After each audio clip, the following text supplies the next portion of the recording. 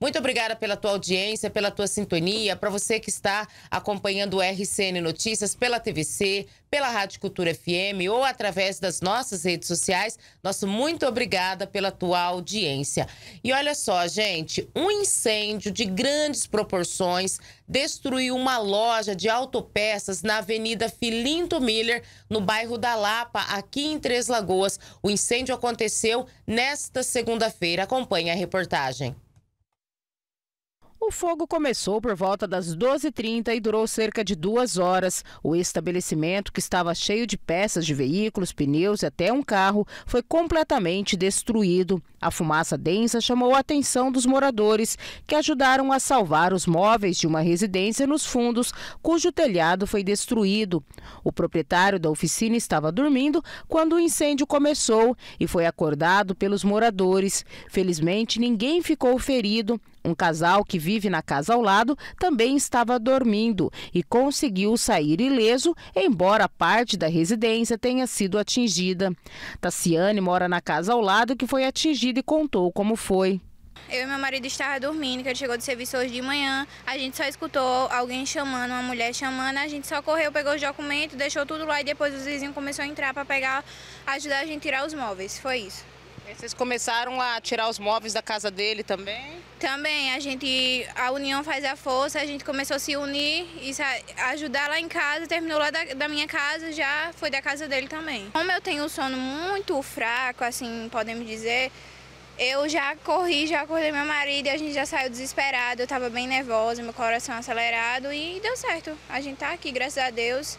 Deus nos deu o livramento, né? O tenente Wesley Ferreira Brito, do Corpo de Bombeiros, falou sobre o atendimento a esta ocorrência. Foi um incêndio em comércio, né?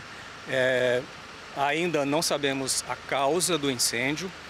Iniciou na frente do barracão, consumiu praticamente todo o barracão, né, e atingiu parte da residência que ficava aos fundos. A gente não sabe ainda essa, a, a causa do incêndio, né?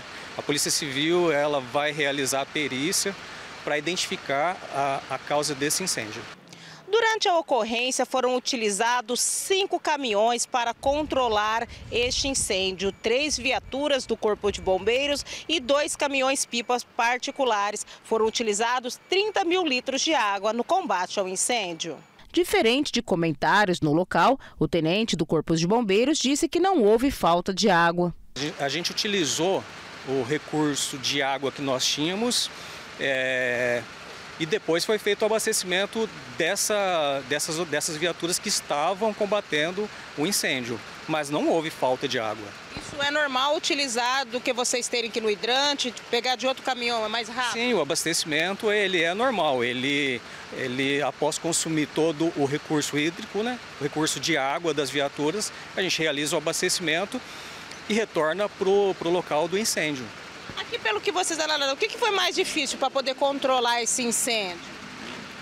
É uma edificação comercial, né? E, e para, é, é, ao lado dela tem uma residência, então existe um, um, um risco né, desse incêndio passar para a residência.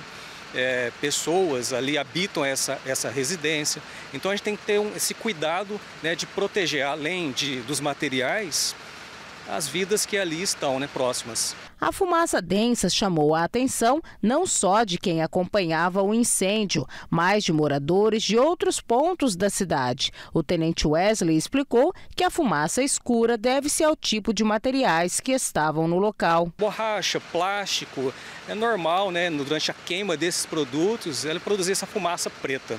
Durante a operação, o morador foi detido por atrapalhar o trabalho dos bombeiros e desacatar os militares. O bombeiro ele é treinado para isso, né? Então, a, nós temos a, é, a capacitação técnica para fazer isso. Às vezes, as pessoas de fora não compreendem, né? mas são esses, essa forma de conduzir nossos trabalhos é que consegue atingir os resultados satisfatórios, resultados que é, podem minimizar esses, esse, esse prejuízo. E às vezes as pessoas não conseguem compreender isso daí.